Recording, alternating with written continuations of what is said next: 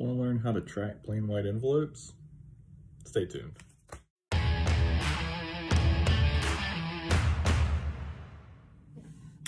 So a lot of people sell low value, you know, low dollar cards that aren't really worth it to spend on bubble mailers with tracking and send first class um, with tracking mail.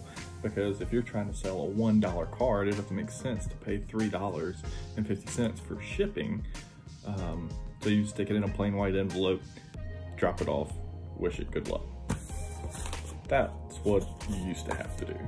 But I'm gonna show you how to use these for free to track your plain white envelopes. Go to the USPS website, usps.com.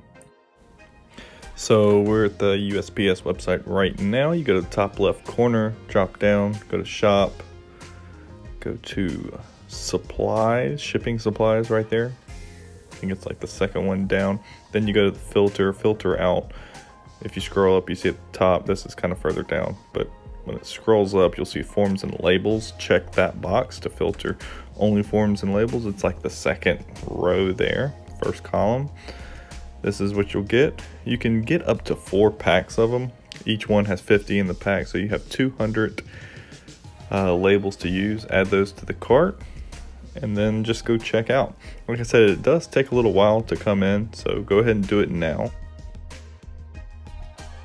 So yeah, you get those. It takes a little while for them to come in, so you know, don't expect to get them next week if you order them today. But they're, you know, obviously as you can see, they're free to order.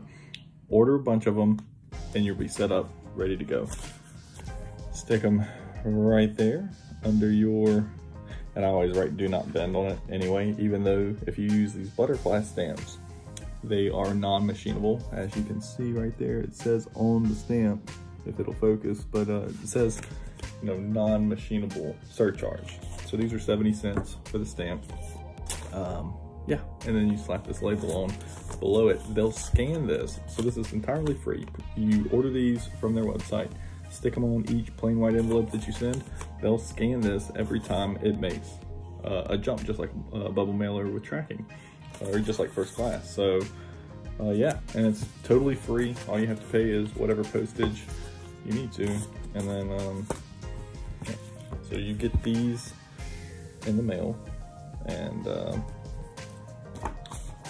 put it right there. Here's a low value card that I shipped this way.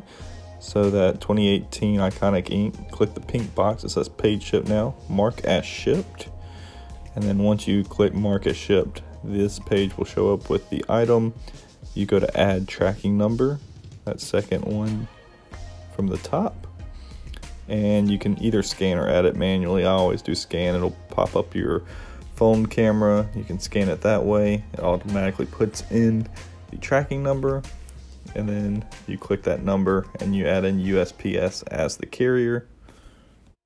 All right, guys, there you go. Enjoy.